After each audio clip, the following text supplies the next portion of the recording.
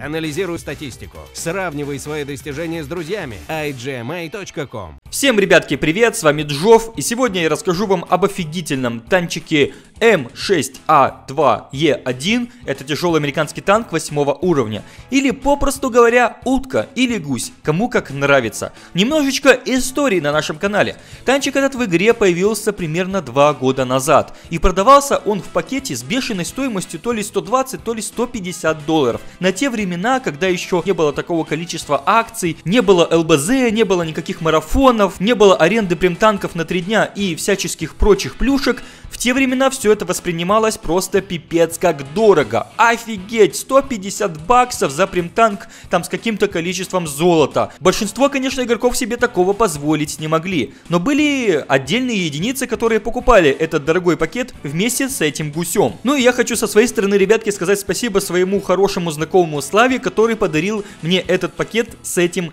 танком. Танк на то время был действительно необычный. Это был корпус от американского танка М6 башня от какого-то там еще другого танка. Все это вместе совместили, нарастили немножечко брони и получилась такая вот необычная и оригинальная машина. Пушка Т-32 в принципе позволяла неплохо настреливать. Первое время этот танчик э, даже немножечко танковал и решал, и на нем даже отдельные игроки катались взводом, потому что это было весело и фаново. Никто не мог их пробить в лоб.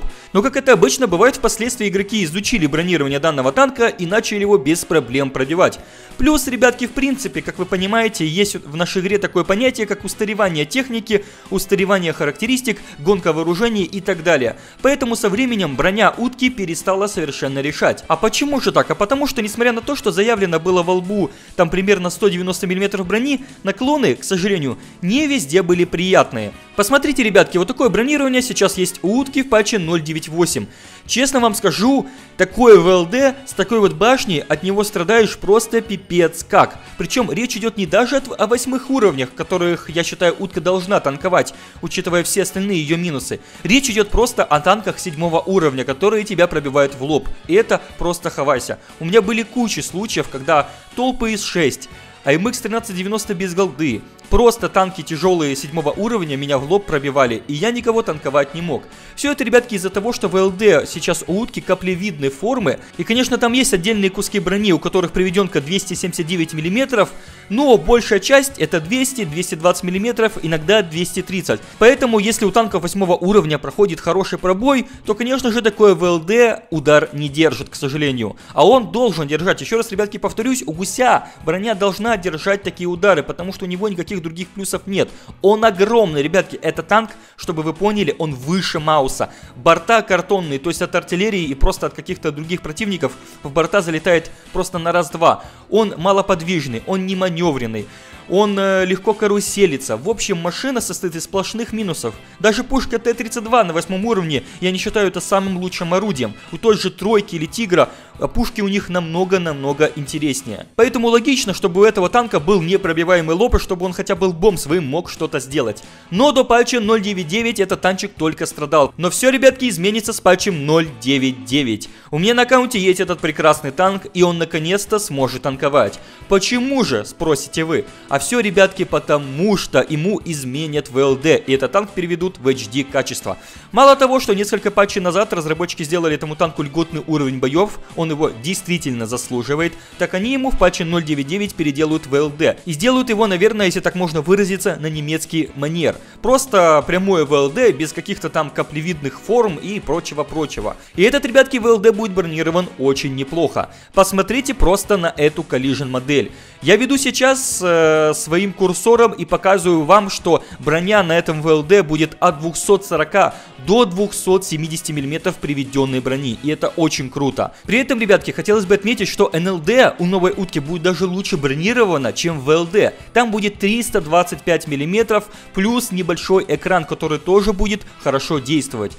Башня, конечно, будет бронирована не так хорошо, как ВЛД. Там будет, э, в зависимости от того, куда стрелять, там будет или 275, или 200 230 мм, но тоже в принципе неплохо. Также крылья, если на них посмотреть, на небольшие такие крылышки нашей утки, то там 250-260 мм.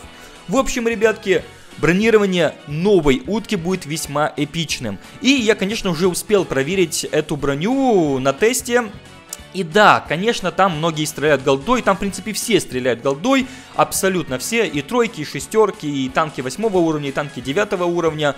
Но кое-где мне удалось потанковать неплохо, я хочу сказать вам, ребятки, что на основе утка будет карать. Да, это все еще будет непростой по геймплею танк, да, просто врываться куда-то вперед ехать и всех убивать у вас не получится, потому что, опять же, борта, какие были картонные, такие остались.